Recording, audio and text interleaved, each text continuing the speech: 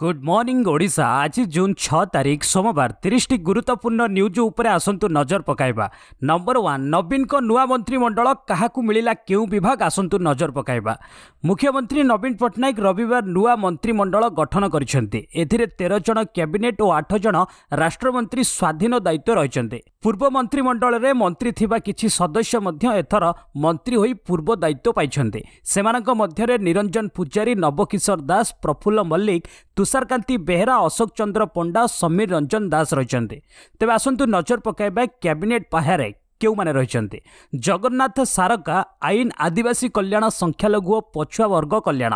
ନିରଞ୍ଜନ ପୂଜାରୀ ଅର୍ଥ ଓ ସଂସଦୀୟ ବ୍ୟାପାର।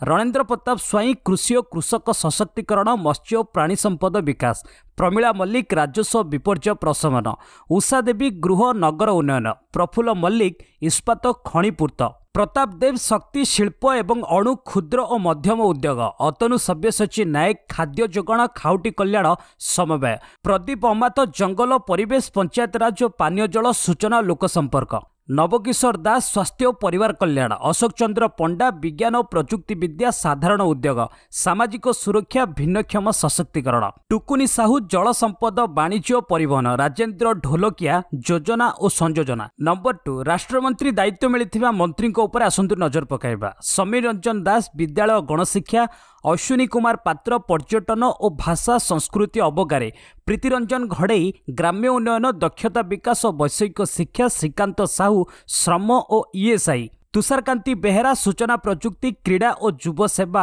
ରୋହିତ ପୂଜାରୀ ଉଚ୍ଚଶିକ୍ଷା ରୀତା ସାହୁ ହସ୍ତତନ୍ତ ବୟନ ଓ ହସ୍ତଶିଳ୍ପ ବାସନ୍ତୀ ହେମ୍ବ୍ରମ ମହିଳା ଓ ଶିଶୁ କଲ୍ୟାଣ ମିଶନ ଶକ୍ତି ରାଷ୍ଟ୍ରମନ୍ତ୍ରୀ। ତୁଷାରୀକାନ୍ତି ବେହେରାଙ୍କୁ ସୂଚନା ପ୍ରଯୁକ୍ତି କ୍ରୀଡ଼ା ଓ ଯୁବ ସେବାର ରାଷ୍ଟ୍ରମନ୍ତ୍ରୀ ଦାୟିତ୍ୱ ସହିତ ଗୃହ ରାଷ୍ଟ୍ରମନ୍ତ୍ରୀ ଦାୟିତ୍ୱ ମିଳିଛି। ନମ୍ବର ଥ୍ରୀ ନବୀନଙ୍କ ମାଷ୍ଟର ଷ୍ଟ୍ରୋକ୍ ବିବାଦୀୟ ବିଦା। ନବୀନ ଗଢ଼ିଛନ୍ତି ନୂଆ ଟିମ୍। ସରକାରର ପଞ୍ଚମ ପାଳିରେ ମାଷ୍ଟର ଷ୍ଟ୍ରୋକ୍ ଖେଳି ମନ୍ତ୍ରିମଣ୍ଡଳର ସମସ୍ତ ମନ୍ତ୍ରୀଙ୍କୁ ବଦଳାଇଛନ୍ତି।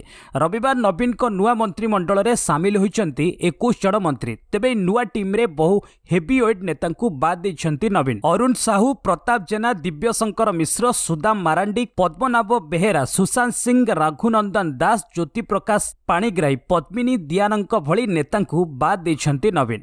ନମ୍ବର ଫୋର୍ ଏଣିକି ସାମ୍ସରେ ଦାଖଲ ହେବନି ୟୁଜି ପିଜି ନାମଲେଖା ଫି। ସ୍ନାତକ ଓ ସ୍ନାତକୋତ୍ତର ପିଜି ନାମଲେଖାରେ ସାମ୍ସରେ ଏଣିକି ଆଉ ନାମଲେଖା ଫି ଦାଖଲ ହେବନି। ଯେଉଁ କଲେଜରେ ଛାତ୍ରଛାତ୍ରୀଙ୍କ ଚୟନ ହେବ ସେଠାରେ ନାମଲେଖା ସରିବା ପରେ ହିଁ ନାମଲେଖା ଫି ଦାଖଲ କରିବେ ଛାତ୍ରଛାତ୍ରୀ। ପୂର୍ବବର୍ଷ ଭଳି ଇ ଆଡମିସନରେ ଫି ଦାଖଲ କରାଯିବନି। ଏନେଇ ସମସ୍ତ ବିଶ୍ୱବିଦ୍ୟାଳୟ କୁଳପତି ଓ ଡିଗ୍ରୀ କଲେଜର ଅଧ୍ୟକ୍ଷଙ୍କୁ ଉଚ୍ଚଶିକ୍ଷା ବିଭାଗ ନିର୍ଦ୍ଦେଶ ଦେଇଛି। ନମ୍ବର ଫାଇଭ୍ ହାଇବ୍ରିଡ୍ ଆତଙ୍କବାଦ ବିରୋଧରେ ନୂଆ ରଣନୀତି। ଏକ ନିଷ୍ପତ୍ତି ଅନୁଯାୟୀ କାଶ୍ମୀର ହିନ୍ଦୁ ଓ ଜମ୍ମୁ ଡିଭିଜନର ହିନ୍ଦୁ କର୍ମଚାରୀମାନଙ୍କୁ ଜିଲ୍ଲା ମୁଖ୍ୟାଳୟ ମ୍ୟୁନିସିପାଲିଟି ଟାଉନ୍ କିମ୍ବା ମ୍ୟୁନିସିପାଲିଟି ଟାଉନ୍ର ତିନି କିଲୋମିଟର ଦୂରତା ମଧ୍ୟରେ ପୋଷ୍ଟିଂ କରାଯାଉଛି। ରାଜ୍ୟ ବାହାରୁ ଆସୁଥିବା ଲୋକଙ୍କ ସୁରକ୍ଷା ପ୍ରତି ଧ୍ୟାନ ଦିଆଯାଉଛି। କାଶ୍ମୀରରେ କାମ କରିବାକୁ ଯାଉଥିବା ସଂଖ୍ୟାଲଘୁ ସମ୍ପ୍ରଦାୟର ବସ୍ତିରେ ସୁରକ୍ଷା ବାହିନୀର ପାଟ୍ରୋଲିଂ ମଧ୍ୟ ବୃଦ୍ଧି କରାଯାଉଛି। କେନ୍ଦ୍ର ସ୍ୱରାଷ୍ଟ୍ର ମନ୍ତ୍ରାଳୟର ବୈଠକରେ ଆତଙ୍କବାଦୀ ଏବଂ ସେମାନଙ୍କ ସମର୍ଥକ ବିରୋଧରେ ଯୋଜନାବଦ୍ଧ ଢଙ୍ଗରେ ଅପରେସନକୁ ଜୋରଦାର କରିବାକୁ ନିଷ୍ପତ୍ତି ନିଆଯାଇଛି। ନମ୍ବର ସିକ୍ସ ଭାରତୀୟ ମୁଦ୍ରାରେ ରବୀନ୍ଦ୍ରନାଥ ଟାଗୋର ଏପିଜେ ଅବଦୁଲ କଲାମଙ୍କ ଚିତ୍ର ବ୍ୟବହାର କରିବାକୁ ବିଚାର କରୁଛି ଆର୍ବିଆଇ ଅର୍ଥ ମନ୍ତ୍ରାଳୟ ଏବଂ ଭାରତୀୟ reserve bank RBI Rabindranath Tagore ଏବଂ ଏପିଜେ ଅବଦୁଲ କଲାମଙ୍କ ୱାଟରମାର୍କ ଚିତ୍ରକୁ କିଛି ମୂଲ୍ୟର ବ୍ୟାଙ୍କ ନୋଟ୍ର ଏକ ନୂତନ ସିରିଜ୍ରେ ବ୍ୟବହାର କରିବାକୁ ବିଚାର କରୁଥିବା ଜଣାଯାଇଛି। ବର୍ତ୍ତମାନ ବ୍ୟବହାର କରାଯାଉଥିବା ଭାରତୀୟ ନୋଟ୍ଗୁଡ଼ିକରେ ଦେଶର ପିତା ମହାତ୍ମା ଗାନ୍ଧୀଙ୍କର ୱାଟରମାର୍କ ଚିତ୍ରକୁ ବ୍ୟବହାର କରାଯାଉଛି। ଗାନ୍ଧୀ ପ୍ରଥମେ ଉଣେଇଶହ ଅଣସ୍ତରୀରେ ଭାରତୀୟ ମୁଦ୍ରା ନୋଟ୍ରେ ସ୍ଥାନ ପାଇଥିଲେ। ଯେତେବେଳେ ତାଙ୍କର ଶହେତମ ଜନ୍ମ ଉତ୍ସବକୁ ସମ୍ମାନ ଜଣାଇ ଏକ ଡିଜାଇନ୍ ସିରିଜ୍ ଜାରି କରାଯାଇଥିଲା। ନମ୍ବର ସେଭେନ୍ ରାସାୟନିକ ପଦାର୍ଥ ମୁକ୍ତ ହେବ ଚାଷ ଜମି। ବିଶ୍ୱ ପରିବେଶ ଦିବସ ଅବସରରେ ପ୍ରଧାନମନ୍ତ୍ରୀ ନରେନ୍ଦ୍ର ମୋଦି ମୃତ୍ତିକା ସଂରକ୍ଷଣ ଆନ୍ଦୋଳନ କାର୍ଯ୍ୟକ୍ରମରେ ଅଂଶଗ୍ରହଣ କରି ଚାଷ ଜମିକୁ ରାସାୟନିକ ପଦାର୍ଥ ମୁକ୍ତ କରିବାକୁ ଆହ୍ୱାନ ଦେଇଛନ୍ତି। ସେ ଲୋକମାନଙ୍କୁ ସମ୍ବୋଧିତ କରି କହିଛନ୍ତି ଯେ ପରିବେଶର ସୁରକ୍ଷା ପାଇଁ ଭାରତର ପ୍ରୟାସ ବହୁମୁଖୀ ହୋଇଛି। ଜଳବାୟୁ ପରିବର୍ତ୍ତନରେ ଭାରତର ଭୂମିକା ସୀମିତ ରହିଛି। ଭାରତ ଏ କ୍ଷେତ୍ରରେ ପ୍ରୟାସ ଜାରି ରଖିଛି। ସେ କହିଛନ୍ତି ଯେ ପୃଥିବୀର ବଡ଼ ଆଧୁନିକ ଦେଶଗୁଡ଼ିକ କେବଳ ପୃଥିବୀର ଅଧିକରୁ ଅଧିକ ସମ୍ବଳ ବ୍ୟବହାର କରିବା ସହିତ ସର୍ବାଧିକ କାର୍ବନ ନିର୍ଗମନ ମଧ୍ୟ କରୁଛନ୍ତି। ନମ୍ବର ଏଇଟ୍ ଜମ୍ମୁ କାଶ୍ମୀରରୁ ଦୁର୍ଦ୍ଦାନ୍ତ ହିଜବୁଲ ଆତଙ୍କବାଦୀ ଗିରଫ ଗତ ଛଅ ବର୍ଷ ଧରି ସକ୍ରିୟ ଥିବା ଜଣେ ଦୁର୍ଦ୍ଦାନ୍ତ ହିଜବୁଲ ମୁଜାହିଦ୍ଦିନ ଆତଙ୍କବାଦୀଙ୍କୁ ଜମ୍ମୁ କାଶ୍ମୀରର କିସ୍ତୱାର ଜିଲ୍ଲାରୁ ଗିରଫ କରାଯାଇଛି ବୋଲି ରବିବାର ଦିନ ଜଣେ ଅଧିକାରୀ କହିଛନ୍ତି ନାଗେସେନୀ ତହସିଲର ରାସୁଆରୀ ନିବାସୀ ତାଲିବ ହୁସେନଙ୍କୁ ପୁଲିସ ରାଷ୍ଟ୍ରୀୟ ରାଇଫଲ୍ସ ଏବଂ ସିଆର୍ପିଏଫ୍ର ମିଳିତ ଅପରେସନରେ ଗିରଫ କରାଯାଇଥିଲା ବୋଲି ପୁଲିସ ଅଧିକାରୀ କହିଛନ୍ତି ଦୁର୍ଦ୍ଦାନ୍ତ ଆତଙ୍କବାଦୀ ତାଲିବ ହୁସେନର ଗିରଫଦାରୀ ଆତଙ୍କବାଦୀ ସଂଗଠନ ହିଜବୁଲ ମୁଜାଦିନ ପାଇଁ ଏକ ବଡ଼ ଝଟକା ଏବଂ ଜିଲ୍ଲାରେ ଆତଙ୍କବାଦକୁ ପୁନର୍ଜୀବିତ କରିବାର ଯୋଜନାକୁ ଏକ ଶକ୍ତ ଧକ୍କା ବୋଲି ପୁଲିସ ଅଧିକାରୀ କହିଛନ୍ତି। ନମ୍ବର ନାଇନ୍ ୟୁକ୍ରେନ୍କୁ ଯେଉଁ ଦେଶ ଦୂରଗାମୀ କ୍ଷେପଣାସ୍ତ୍ର ଯୋଗାଇବ ତାହାକୁ ଟାର୍ଗେଟ୍ କରାଯିବ କହିଲେ ପୁତିନ। ୟୁକ୍ରେନ୍କୁ ଦୂରଗାମୀ ରକେଟ୍ ସିଷ୍ଟମ ଏମ୍ ଶହେ ବୟାଳିଶ ହିମାର୍ସ ଯୋଗାଣ ପାଇଁ ଆମେରିକା ଘୋଷଣା କରିବା ପରେ ରୁଷ ତାହାର ଜବାବ ଦେଇଛି। ଯେଉଁ ଦେଶ ୟୁକ୍ରେନ୍କୁ ଦୂରଗାମୀ କ୍ଷେପଣାସ୍ତ୍ର ପ୍ରଦାନ କରିବ ସେହି ଦେଶକୁ ଟାର୍ଗେଟ୍ କରି କ୍ଷେପଣାସ୍ତ୍ର ମାଡ଼ କରାଯିବ ବୋଲି ରୁଷ ରାଷ୍ଟ୍ରପତି ଭ୍ଲାଦିମିର ପୁତିନ କହିଛନ୍ତି। ସେ କହିଛନ୍ତି ଯଦି ଏପରି କ୍ଷେପଣାସ୍ତ୍ର ୟୁକ୍ରେନ୍କୁ ଦିଆଯାଏ ତେବେ ଆମେ ଏପରି ଟାର୍ଗେଟକୁ ମାଡ଼ କରିବାକୁ ଯାହା ଉପରେ ପୂର୍ବରୁ ମାଡ଼ କରାଯାଇନଥିଲା। ଏକ ରୁଷୀୟ ଟିଭି ଚ୍ୟାନେଲକୁ ସାକ୍ଷାତକାର ଦେଇ ସେ କହିଛନ୍ତି ଯେ ୟୁକ୍ରେନ୍କୁ ଅସ୍ତ୍ରଶସ୍ତ୍ର ଦେଇ ପାଶ୍ଚାତ୍ୟ ଦେଶମାନେ ଯୁଦ୍ଧକୁ ଆହୁରି ବଢ଼ାଇବାକୁ ଚାହୁଁଛନ୍ତି। ନମ୍ବର ଟେନ୍ ବାଂଲାଦେଶ କଣ୍ଟେନର ଡିପୋରେ ବ୍ୟାପକ ଅଗ୍ନିକାଣ୍ଡ ପଇଁତିରିଶ ମୃତ ଚାରିଶହ ପଚାଶରୁ ଉର୍ଦ୍ଧ୍ୱ ଆହତ। ଦକ୍ଷିଣ ପୂର୍ବ ବାଂଲାଦେଶର ସ୍ଥଳଭାଗରେ ଥିବା ଗୋଟେ କଣ୍ଟେନର ଡିପୋରେ ପାଣି ଜାହାଜରେ ଆସିଥିବା ସାମଗ୍ରୀ ରଖିବା ସ୍ଥାନ ବ୍ୟାପକ ଅଗ୍ନିକାଣ୍ଡ ଘଟି ଅନ୍ୟୁନ୍ୟ ପଇଁତିରିଶ ଜଣଙ୍କର ମୃତ୍ୟୁ ଘଟିছে ଓ ଚାରିଶହ ପଚାଶରୁ ଉର୍ଦ୍ଧ୍ୱ ଆହତ ହୋଇଛନ୍ତି ବୋଲି ରବିବାର ସରକାରୀ ଅଧିକାରୀମାନେ କହିଛନ୍ତି।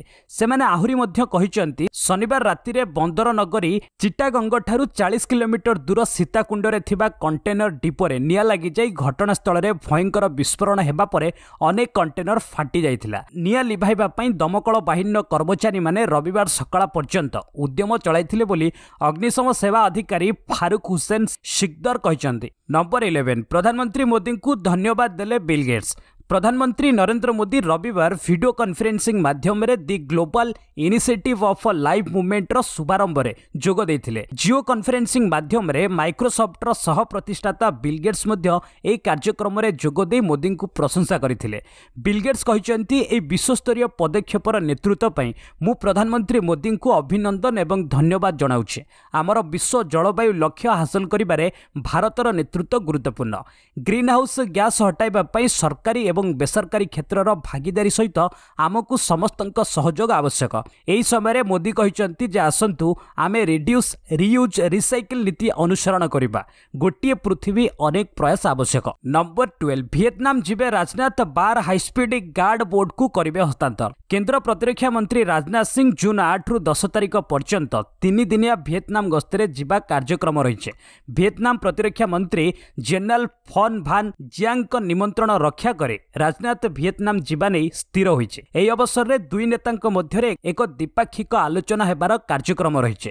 ଏପରିକି ରାଜନାଥଙ୍କ ଏହି ଗସ୍ତ ଦୁଇ ଦେଶ ମଧ୍ୟରେ ପ୍ରତିରକ୍ଷା କ୍ଷେତ୍ରରେ ସହଯୋଗ ଏବଂ ସମ୍ପର୍କକୁ ସୁଦୃଢ଼ କରିବା ସମ୍ଭାବନା ରହିଛି। ଅନ୍ୟପକ୍ଷରେ ରାଜନାଥ ଭାରତ ସରକାରଙ୍କ ଶହେ ମିଲିୟନ ଡଲାରରେ ନିର୍ମିତ ବାରଟି ହାଇସ୍ପିଡ୍ ଗାର୍ଡ ବୋର୍ଡକୁ ଭିଏତନାମକୁ ହସ୍ତାନ୍ତର କରିବାର କାର୍ଯ୍ୟକ୍ରମ ସ୍ଥିର ହୋଇଛି। ନମ୍ବର ଥାର୍ଟିନ୍ ପୁଣି ଚେତାବନୀ ଦେଲେ ପୁତିନ। ରୁଷିଆ ରାଷ୍ଟ୍ରପତି ଭ୍ଲାଦିମିର ପୁତିନ ପାଶ୍ଚାତ୍ୟ ଦେଶଗୁଡ଼ିକୁ ପୁଣି ଚେତାବନୀ ଦେଇଛନ୍ତି। ସେ କହିଛନ୍ତି ଯଦି ପାଶ୍ଚାତ୍ୟ ଦେଶଗୁଡ଼ିକ ୟୁକ୍ରେନ୍କୁ ଦୂରଗାମୀ କ୍ଷେପଣାସ୍ତ୍ର ଯୋଗାଇବା ଆରମ୍ଭ କରନ୍ତି ତେବେ ରୁଷିଆ ନୂଆ ସ୍ଥାନ ଉପରେ ଆକ୍ରମଣ କରିବ। ପାଶ୍ଚାତ୍ୟ ଦେଶ ଦ୍ୱାରା କିବ୍କୁ ନୂତନ ଅସ୍ତ୍ର ଯୋଗାଇବା ସଂଘର୍ଷକୁ ଆହୁରି ବଢ଼ାଇବା ପାଇଁ ଉଦ୍ଦିଷ୍ଟ।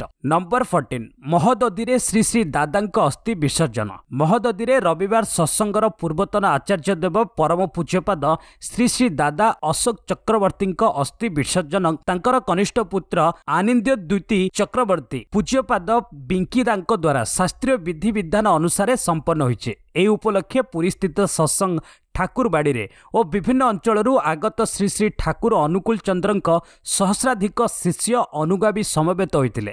ବୈଦିକ ବିଧିବିଧାନ ଓ ଶ୍ରୀ ଶ୍ରୀ ଠାକୁରଙ୍କ ଜୟଧ୍ୱନି ମଧ୍ୟରେ ଏହି ପବିତ୍ର ପ୍ରକ୍ରିୟା ସମାପନ ହୋଇଥିଲା। ରବିବାର ଏହି କାର୍ଯ୍ୟକ୍ରମରେ ବିଧାୟକ ଦେବୀପ୍ରସାଦ ମିଶ୍ର ବରିଷ୍ଠ କଂଗ୍ରେସ ନେତା ନିରଞ୍ଜନ ପଟ୍ଟନାୟକ ପୁରୀ ଜିଲ୍ଲାପାଳ ସମର୍ଥ ବର୍ମା ଏଡିଏମ୍ ପ୍ରଦୀପ କୁମାର ସାହୁ ପ୍ରମୁଖ ଯୋଗ ଦେଇଥିଲେ। Number fifteen single use plastic ନେଇ ରାଜ୍ୟ ସରକାର ସରକାରଙ୍କୁ କେନ୍ଦ୍ରର ଚିଠି। ଭାରତର ଚାରି ହଜାର ସାତଶହ ସହରାଞ୍ଚଳ ମଧ୍ୟରୁ କେବଳ ଦୁଇ ହଜାର ପାଞ୍ଚରେ ଜୁଲାଇ ଏକ ସୁଦ୍ଧା ଏକକ ବ୍ୟବହାର ପ୍ଲାଷ୍ଟିକ୍ ଉପରେ ନିଷେଧାଦେଶ ଘୋଷଣା କରାଯାଇଛି। ଏ ବାବଦରେ ଅଧିକ ଧ୍ୟାନ ଦିଆଯାଉନଥିବାରୁ ସ୍ୱରାଷ୍ଟ୍ର ଓ ସହରାଞ୍ଚଳ ମନ୍ତ୍ରାଳୟ ଏକକ ବ୍ୟବହାର ପ୍ଲାଷ୍ଟିକ୍ ବ୍ୟବହାରକୁ ଯୋଜନାବଦ୍ଧ ଭାବେ ବନ୍ଦ କରିବା ଏବଂ ବ୍ୟାପକ ପରିଷ୍କାର ବଜାୟ ରଖିବା ସହିତ ସବୁଜ ଏଜେଣ୍ଡାରେ ଯୋଗଦାନ କରିବାକୁ ରାଜ୍ୟ ସରକାରଙ୍କୁ ନିର୍ଦ୍ଦେଶ ଦେଇଛନ୍ତି। ନମ୍ବର ସିକ୍ସଟିନ୍ ଦୁଇଥର ବଢ଼ିପାରେ ରେପୋ ରେଟ୍। ଆସନ୍ତା ସପ୍ତାହରେ ହେବାକୁ ଥିବା ଭାରତୀୟ ରିଜର୍ଭ ବ୍ୟାଙ୍କ ଆର୍ବିଆଇର ମୁଦ୍ରାନୀତି ବୈଠକରେ ରେପୋ ରେଟ୍ରେ ଶୂନ ଦଶମିକ ଚାରି ଶୂନ ପ୍ରତିଶତ ବୃଦ୍ଧି ଘଟିବା ନେଇ ଏକ ବିଦେଶୀ ବ୍ରୋକରେଜ କମ୍ପାନୀ ବୋଫା ସିକ୍ୟୁରିଟିଜ୍ ପକ୍ଷରୁ ଶନିବାର ଆକଳନ ଭିତ୍ତିକ ତଥ୍ୟ ଦିଆଯାଇଛି।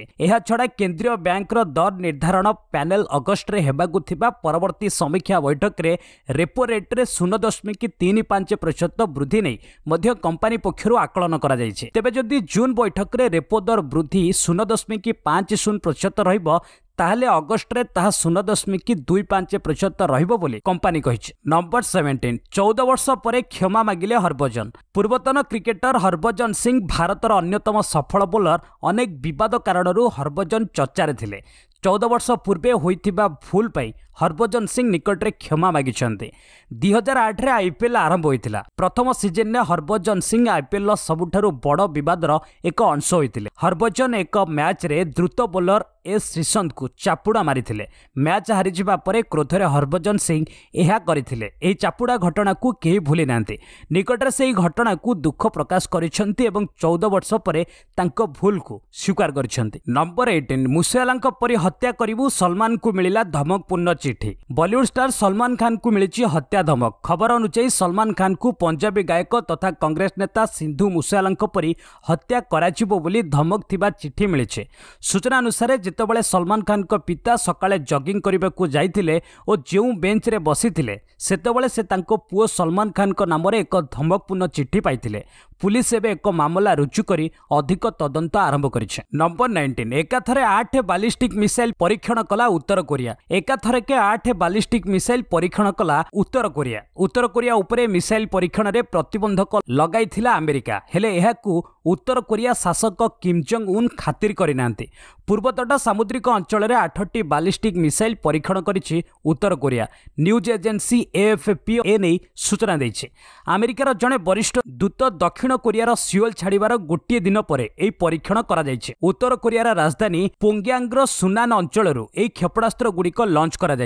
ନମ୍ବର ଟ୍ୱେଣ୍ଟି ଗିରଫ ହେବେ ପାକିସ୍ତାନ ପ୍ରଧାନମନ୍ତ୍ରୀ ଶାହବାଜ। ପାକିସ୍ତାନରେ ଥମୁନି ରାଜନୈତିକ ସଙ୍କଟ ପାକିସ୍ତାନ ପ୍ରଧାନମନ୍ତ୍ରୀ ଶାହବାଜ ସରିଫ ବର୍ତ୍ତମାନ ଉଭୟ ଅର୍ଥନୈତିକ ଏବଂ ରାଜନୈତିକ କ୍ଷେତ୍ରରେ ଅସୁବିଧାର ସମ୍ମୁଖୀନ ହେଉଛନ୍ତି। ଏହାରି ଭିତରେ ଖୁବ୍ ଶୀଘ୍ର ପାକିସ୍ତାନ ପ୍ରଧାନମନ୍ତ୍ରୀ ଶାହବାଜ ଗିରଫ ହୋଇପାରନ୍ତି।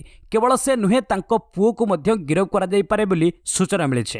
ବହୁ ବିଲିୟନ ଡଲାରର ଅର୍ଥ ହେରଫେର ମାମଲାରେ ଅଧିକ ତଦନ୍ତ ପାଇଁ ପ୍ରଧାନମନ୍ତ୍ରୀ ଶାହବାଜ ସରିଫ ଏବଂ ତାଙ୍କ ପୁଅ ତଥା ପାକିସ୍ତାନର ପାର୍ଶ୍ୱରେ ପଞ୍ଜାବର ମୁଖ୍ୟମନ୍ତ୍ରୀ ହାମଜା ଶାହବାଜକୁ ଗିରଫ କରିବାକୁ ଏଫ୍ଆଇଏ ଶନିବାର କୋର୍ଟକୁ ଅନୁରୋଧ କରିଛି। ତେବେ କୋର୍ଟ ଶାହବାଜ ଏବଂ ହମଜାଙ୍କ ଆଗୁଆ ଜାମିନକୁ ଜୁନ୍ ଏଗାର ପର୍ଯ୍ୟନ୍ତ ବଢ଼ାଇ ଦେଇଛନ୍ତି। ନମ୍ବର ଟ୍ୱେଣ୍ଟି ୱାନ୍ ସଚିନଙ୍କୁ ଜାଣିଶୁଣି ଆହତ କରିବାକୁ ଚାହୁଁଥିଲେ ସୋଏବ ଅକ୍ତର ପୂର୍ବତନ ମହାନ ଭାରତୀୟ ବ୍ୟାଟ୍ସମ୍ୟାନ୍ ସଚିନ ତେନ୍ଦୁଲକର ପ୍ରାୟ ଚବିଶ ବର୍ଷ ଧରି କ୍ରିକେଟରେ ରାଜୁତି କରିଥିଲେ। ନିଜ କ୍ୟାରିୟରରେ ସଚିନ ଅନେକ କିମ୍ବଦନ୍ତୀ ବୋଲରଙ୍କ ସମ୍ମୁଖୀନ ହୋଇଥିଲେ।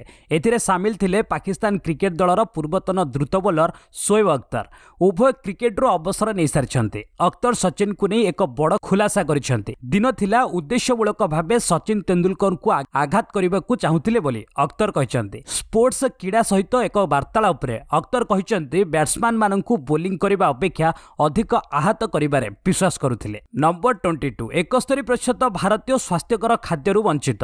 ଭାରତରେ ଏକସ୍ତରୀ ପ୍ରତିଶତ ଲୋକ ସ୍ୱାସ୍ଥ୍ୟକର ଖାଦ୍ୟ କିଣି ଖାଇବାର ସାମର୍ଥ୍ୟ ରଖିନାହାନ୍ତି। ଆବଶ୍ୟକ ପୋଷଣ ତତ୍ତ୍ୱ ଥିବା ଖାଦ୍ୟ ଖାଇ ନପାରିବା କାରଣରୁ ବର୍ଷକୁ ଦେଶରେ ସତର ଲକ୍ଷ ଲୋକ ବିଭିନ୍ନ ରୋଗର ଶିକାର ହୋଇ ମୃତ୍ୟୁ ମୁଖରେ ପଡୁଛନ୍ତି। ହାରାହାରି ଭାରତୀୟଙ୍କ ଖାଦ୍ୟରେ ଅତ୍ୟାବଶ୍ୟକ ପୁଷ୍ଟିକର ଖାଦ୍ୟ ସାମଗ୍ରୀ ଯଥା ଫଳ ପନିପରିବା ଏବଂ ଡାଲି ଜାତୀୟ ଶସ୍ୟର ଅଭାବ ରହିଛି ବୋଲି ଏକ ସର୍ଭେ ରିପୋର୍ଟରୁ ଜଣାଯାଇଛି।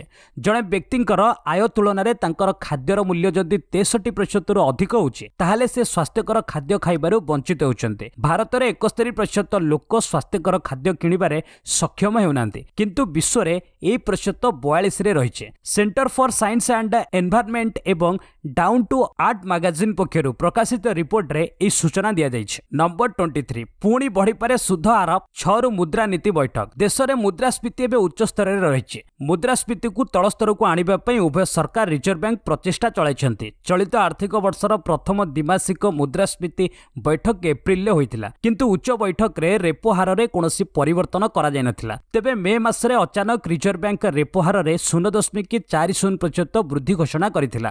ଏହାପରେ ବିଭିନ୍ନ ବ୍ୟାଙ୍କ ସେମାନଙ୍କ ଜମା ଓ ଋଣ ସୁଧ ହାର ବୃଦ୍ଧି କରିଛନ୍ତି। ଫଳରେ ଗ୍ରାହକଙ୍କ ପାଇଁ ଋଣର ମାସିକ କିସ୍ତି ରାଶି ବୃଦ୍ଧି ପାଇଛି। ସେହିଭଳି ସରକାର ପେଟ୍ରୋଲ ଓ ଡିଜେଲ ଉପରେ ଉତ୍ପାଦ ଶୁଳ୍କକୁ ହ୍ରାସ କରିଛନ୍ତି। ନମ୍ବର ଟ୍ୱେଣ୍ଟି ଫୋର୍ ଏଣିକି ପୋଷ୍ଟ ଅଫିସରୁ ମିଳିବ ରେଳ ଟିକେଟ୍। ରେଳବାଇ ବର୍ତ୍ତମାନ ଯାତ୍ରୀମାନଙ୍କ ପାଇଁ ଟିକେଟ୍ ବୁକ୍ କରିବା ପ୍ରକ୍ରିୟାକୁ ଅଧିକ ସୁବିଧାଜନକ କରିଛନ୍ତି। ବିଶେଷ କରି ଗ୍ରାମାଞ୍ଚଳକୁ ଧ୍ୟାନରେ ରଖି ରେଳବାଇ ଏହି ନିଷ୍ପତ୍ତି ନେଇଛି। ବାସ୍ତବରେ ଭାରତୀୟ ରେଳବାଇ ବର୍ତ୍ତମାନ ଦେଶର ପଇଁଚାଳିଶ ହଜାର ଡାକଘରେ ଟିକେଟ୍ ବୁକିଂ ପାଇଁ ବ୍ୟବସ୍ଥା କରିଛି। କେନ୍ଦ୍ର ରେଳମନ୍ତ୍ରୀ ଅଶ୍ୱିନୀ ବୈଷ୍ଣବ କହିଛନ୍ତି ଯେ ବର୍ତ୍ତମାନ ଟ୍ରେନ୍ ଟିକେଟ୍ ନେବାରେ କୌଣସି ଅସୁବିଧା ହେବ ନାହିଁ। ନମ୍ବର ଟ୍ୱେଣ୍ଟି ଫାଇଭ ଇତିହାସ ରଚିଲେ ରୁଟ୍ ନ୍ୟୁଜିଲାଣ୍ଡ ବିପକ୍ଷ ତିନି ଟେଷ୍ଟ ସିରିଜ୍ର ପ୍ରଥମ ମ୍ୟାଚ୍ରେ ଇଂଲଣ୍ଡ ବିଜୟ ହାସଲ କରିଛି। ଲର୍ଡସ ଟେଷ୍ଟର ଚତୁର୍ଥ ଦିନରେ ଇଂଲଣ୍ଡ ନ୍ୟୁଜିଲାଣ୍ଡକୁ ପାଞ୍ଚ ୱିକେଟ୍ରେ ପରାସ୍ତ କରିଛନ୍ତି। ଦ୍ୱିତୀୟ ଇନିଂସରେ ରୁଟ୍ ଏକ ଅପରାଜିତ ଶହେ ପନ୍ଦର ରନ୍ କରିଥିଲେ। ଏହା ହେଉଛି ରୁଟ୍ଙ୍କ କ୍ୟାରିୟରର ଛବିଶତମ ଶତକ। Root man of the match ବିବେଚିତ ହୋଇଥିଲେ। ଟେଷ୍ଟ କ୍ୟାରିୟରରେ ଛବିଶତମ ଶତକ ହାସଲ କରିବା ସହିତ ଜୋ ରୁଟ୍ ଦଶ ହଜାର ରନ୍ ପୂରଣ କରିଥିଲେ। ଇଂଲଣ୍ଡର ପୂର୍ବତନ ଅଧିନାୟକ ଆଲାଷ୍ଟାୟର କୁକ୍ଙ୍କ ପରେ ସେ ଦ୍ୱିତୀୟ ଇଂଲଣ୍ଡ ବ୍ୟାଟ୍ସମ୍ୟାନ୍ ଭାବେ ଟେଷ୍ଟରେ ଦଶ ହଜାର ରନ୍ ସ୍କୋର କରିଛନ୍ତି। ନମ୍ବର ଟ୍ୱେଣ୍ଟି ସିକ୍ସ ବିକି ଶ୍ରେଷ୍ଠ ଅଭିନେତା କୃତି ଶ୍ରେଷ୍ଠ ଅଭିନେତ୍ରୀ। ଅନ୍ତର୍ଜାତୀୟ ଭାରତୀୟ ଫିଲ୍ମ ଏକାଡେମୀ ଆଇଆଇଏଫ୍ଏ ପୁରସ୍କାରର ଦୁଇ ହଜାର ବାଇଶ ଶେଷ ହୋଇଛି। ଆବୁଧାବିର ୟସ୍ ଆଇଲ୍ୟାଣ୍ଡରେ ଚାଲୁଥିବା ଏହି ପୁରସ୍କାର ଜୁନ୍ ଦୁଇରୁ ଆରମ୍ଭ ହୋଇ ଜୁନ୍ ଚାରି ପର୍ଯ୍ୟନ୍ତ ଚାଲିଥିଲା ବାଇଶତମ ଆଇଫା ପୁରସ୍କାରର ଦୁଇ ହଜାର ବାଇଶର ବିଜେତା ମଧ୍ୟ ଘୋଷଣା କରାଯାଇଛି। ଅଭିନେତା ବିକି କୌଶଲ ଆଇଫା ଦୁଇ ହଜାର ବାଇଶର ଶ୍ରେଷ୍ଠ ଅଭିନେତା ହେବାର ସୌଭାଗ୍ୟ ଅର୍ଜନ କରିଛନ୍ତି। ସର୍ଦ୍ଦାର ଉଦ୍ଧମ ଫିଲ୍ମ ପାଇଁ ବିକି ଶ୍ରେଷ୍ଠ ଅଭିନେତା ପୁରସ୍କାର ପାଇଛନ୍ତି। ଅଭିନେତ୍ରୀ କୃତି ଶାନନ ଆଇଫା ଦୁଇ ହଜାର ବାଇଶ ଶ୍ରେଷ୍ଠ ଅଭିନେତ୍ରୀ ଆଖ୍ୟା ଅର୍ଜନ କରିଛନ୍ତି। ଫିଲ୍ମ ମିମି ପାଇଁ କୃତିଙ୍କୁ ଏହି ପୁରସ୍କାର ପ୍ରଦାନ କରାଯାଇଛି। ଆଇଫା ଦୁଇ ହଜାର ବାଇଶରେ ଶେର୍ଷା ଶ୍ରେଷ୍ଠ ଫିଲ୍ମ ପୁରସ୍କାର ପାଇছে ନମ୍ବର ଟ୍ୱେଣ୍ଟି ସେଭେନ୍ ଯୱାନର ପ୍ରଥମ ପୋଷ୍ଟର ସେୟାର କଲେ ଶାହରୁଖ। ପୁଣି ଥରେ ଦର୍ଶକଙ୍କ ମନୋରଞ୍ଜନ କରିବାକୁ ପ୍ରସ୍ତୁତ ହେଉଛନ୍ତି କିଙ୍ଗ ଖାନ୍ ଶାହରୁଖ। ତାଙ୍କର ଆଗାମୀ ଫିଲ୍ମ ଯୱାନକୁ ଦର୍ଶକଙ୍କ ସାମ୍ନାକୁ ଆଣିବା ପାଇଁ ଏହାର ଟିଜର ରିଲିଜ୍ ହେବାର ଦିନକ ପରେ ଶାହରୁଖ ଫିଲ୍ମର ପ୍ରଥମ ପୋଷ୍ଟର ଦର୍ଶକଙ୍କ ସହ ସେୟାର କରିଛନ୍ତି। ସେ ତାଙ୍କ ଇନଷ୍ଟାଗ୍ରାମରେ ଏହି ଫଟୋ ସେୟାର କରିଛନ୍ତି। ଏ ଫିଲ୍ମକୁ red chillies entertainment special project ବୋଲି କୁହାଯାଉଛି। ପୋଷ୍ଟରରେ ଶାହରୁଖଙ୍କୁ ଆହତ ଅବସ୍ଥାରେ ଦେଖିବାକୁ ମିଳିଛି। ଫଟୋ ସେୟାର କରି ସେ ଫିଲ୍ମ ନିର୍ମାତାଙ୍କୁ ବି ଧନ୍ୟବାଦ ଜଣାଇଛନ୍ତି। ଏହି ଫିଲ୍ମର ନିର୍ଦ୍ଦେଶନା ଦେଇଛନ୍ତି ଏଟଲି ସେ ସାଉଥର ଜଣାଶୁଣା ନିର୍ଦ୍ଦେଶକ। Number twenty eight Shahrukh Khan ମହାମାରୀ ପଜିଟିଭ ଶାହରୁଖ ଖାନ ମହାମାରୀ ଟେଷ୍ଟ ପଜିଟିଭ ଆସିଛି। ମହାରାଷ୍ଟ୍ରରେ ମହାମାରୀ ମାମଲା ଖୁବ୍ ଜୋରରେ ବୃଦ୍ଧି ପାଉଛି। ଶନିବାର କାର୍ତ୍ତିକ ଆର୍ୟନ ଟ୍ୱିଟ୍ କରି କହିଥିଲେ କି ତାଙ୍କର ଟେଷ୍ଟ ପଜିଟିଭ ଆସିଛି। ଏହା ସହ ଆଦିତ୍ୟ ରାୟ କପୁର ଓ କାତ୍ରିନା କୈଫ ମଧ୍ୟ ମହାମାରୀରେ ସଂକ୍ରମିତ ହୋଇଛନ୍ତି। ଶାହରୁଖ ଏହି ସମୟରେ ନିଜ ଫିଲ୍ମରେ ବ୍ୟସ୍ତ ଅଛନ୍ତି। Number twenty nine. ଚାରି ହଜାର ଟପିଲା ଦୈନିକ ସଂକ୍ରମଣ ମୃତ୍ୟୁ ସଂଖ୍ୟା ପନ୍ଦର। ଦେଶରେ ମହାମାରୀ ସଂକ୍ରମଣ ନେଇ ପୁଣି ଆତଙ୍କ ସୃଷ୍ଟି ହୋଇଛି। ଗତ ଚବିଶ ଘଣ୍ଟାରେ ଦୈନିକ ସଂକ୍ରମଣ ଚାରି ହଜାର ଟପିଛି। ଏହା ବଢ଼ି ଚାରି ହଜାର ଦୁଇଶହ ସତୁରିରେ ପହଞ୍ଚିଛି। ସେହିପରି ଗତ ଚବିଶ ଘଣ୍ଟାରେ ମୃତ୍ୟୁ ସଂଖ୍ୟା କମି ପନ୍ଦରରେ ପହଞ୍ଚିଛି। ଗୋଟିଏ ଦିନ ପୂର୍ବରୁ ଏହା ଛବିଶ ଥିଲା। ଏହି ସମୟରେ ସକ୍ରିୟ ମାମଲା ପୁଣି ଚବିଶ ହଜାର ଟପିଛି। ଏହା ଚବିଶ ହଜାର ବାଉନ ରହିଛି। ସେହିପରି ଚବିଶ ଘଣ୍ଟାରେ ଦୁଇ ହଜାର ଛଅଶହ ଉଣେଇଶ ଜଣ ସୁସ୍ଥ ହୋଇଛନ୍ତି। ଇତିମଧ୍ୟରେ ଦେଶରେ ମହାମାରୀ ମୃତଙ୍କ ସଂଖ୍ୟା ପାଞ୍ଚ ଲକ୍ଷ ଚବିଶ ହଜାର ଛଅଶହ ବୟାନବେ ଛୁଇଁଛି। ସଂକ୍ରମଣ ଆରମ୍ଭଠାରୁ ଇତିମଧ୍ୟରେ ମୋଟ ଚାରି କୋଟି ଏକତିରିଶ ଲକ୍ଷ ଛଅସ୍ତରୀ ହଜାର ଆଠଶହ ସତର ଜଣ ଆକ୍ରାନ୍ତ ହୋଇଥିବା ବେଳେ ଚାରି କୋଟି ଛବିଶ ଲକ୍ଷ ଅଠେଇଶ ହଜାର ତେସ୍ତରୀ ଜଣ ସୁସ୍ଥ ହୋଇସାରିଛନ୍ତି। ନମ୍ବର ଥାର୍ଟି ପୁଣି ରାଜ୍ୟରେ ଉଣେଇଶ ମହାମାରୀ ପଜିଟିଭ ଚିହ୍ନଟ। ରାଜ୍ୟରେ ରବିବାର ଉଣେଇଶ ଜଣ ମହାମାରୀ ଆକ୍ରାନ୍ତ ଚିହ୍ନଟ ହୋଇଛନ୍ତି। ସେମାନଙ୍କ ମଧ୍ୟରୁ ଦୁଇ ଜଣ ପିଲା ଅଛନ୍ତି। ଚିହ୍ନଟ ମହାମାରୀ ଆକ୍ରାନ୍ତଙ୍କ ମଧ୍ୟରୁ ବାର ଜଣ କ୍ୱାରେଣ୍ଟାଇନ୍ରୁ ଚିହ୍ନଟ ହୋଇଥିବା ବେଳେ ଆଠ ଲୋକାଲ କେସ୍ ଥିବା ରାଜ୍ୟ ସୂଚନା ଓ ଲୋକସମ୍ପର୍କ ବିଭାଗ ପକ୍ଷରୁ ଟ୍ୱିଟ୍ ଯୋଗେ ସୂଚନା ଦିଆଯାଇଛି। ଏହାକୁ ମିଶାଇ ରାଜ୍ୟରେ ମୋଟ ଆକ୍ରାନ୍ତଙ୍କ ସଂଖ୍ୟା ବାର ଲକ୍ଷ ଅଠାଅଶୀ ହଜାର ପାଞ୍ଚଶହ ଚାରିରେ ପହଞ୍ଚିଛି। ବସ୍ ଆଜି ପାଇଁ ଏଇଠି ରଖିବା ପୁଣି ନେଇ ଆସିବି ଲେଟେଷ୍ଟ ଅପଡେଟ୍। ସେ ପର୍ଯ୍ୟନ୍ତ ବିଦାୟ ନେଉଛି। ଜୟ ହିନ୍ଦ ଜୟ ଭାରତ।